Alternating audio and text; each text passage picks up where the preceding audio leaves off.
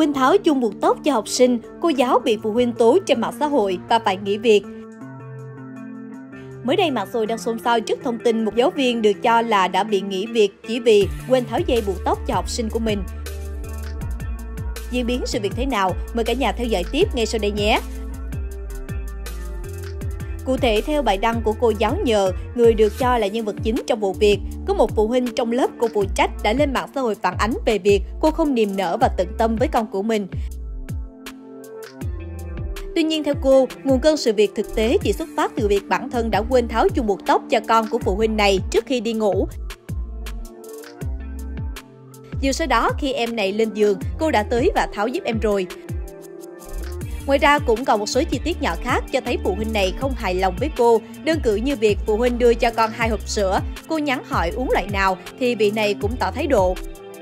Mình không làm đau con họ, không vi phạm đạo đức nghề nghiệp, vậy mà đùng một phát họ đăng Facebook nói cô giáo chăm sóc con họ không ra gì, họ dựng chuyện vu khống siêu thật, cô giáo này tâm sự.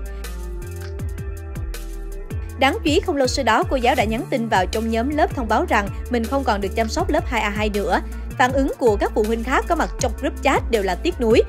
Đa số cho rằng cô giáo rất tận tâm với nghề.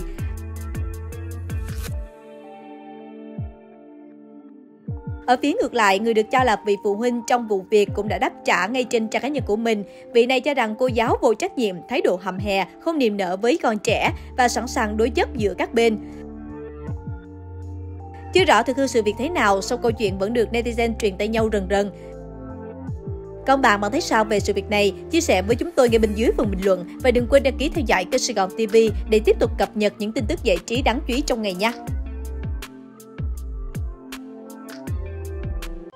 Gửi ngày tin nóng cho Sài Gòn TV qua hotline 0909 660 550 để có cơ hội gia tăng thu nhập nha.